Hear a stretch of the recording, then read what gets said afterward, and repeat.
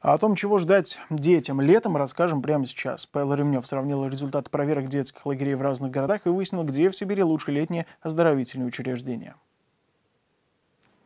Лидером по количеству нарушений в детских лагерях стала Кемеровская область. Судя по цифре, 560 случаев за год прокуратура находила в каждом оздоровительном учреждении Кузбасса десятки нарушений.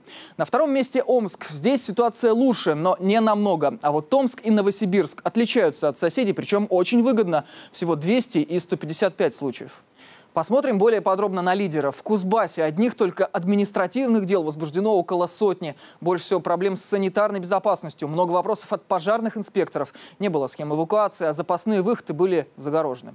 Кроме того, в ходе проверки прокуроры обнаружили, что 14 работников не предоставили справку об отсутствии судимости. И оказалось, что трое из них в прошлом уголовники.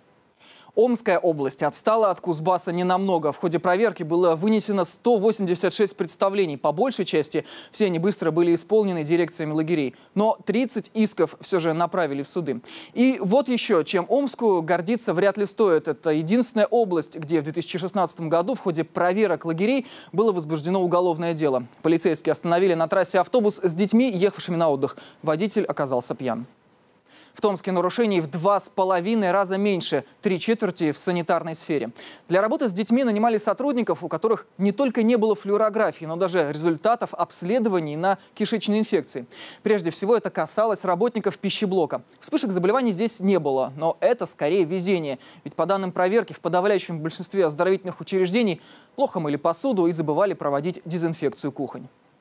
В Новосибирской области, несмотря на то, что лагерей здесь не меньше, чем в других регионах, дела обстоят лучше всего.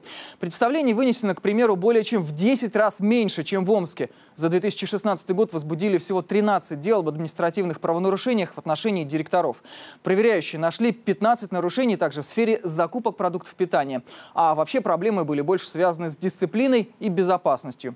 9 подростков пытались сбежать домой, а 8 оздоровительных учреждений не имели систем видеонаблюдения.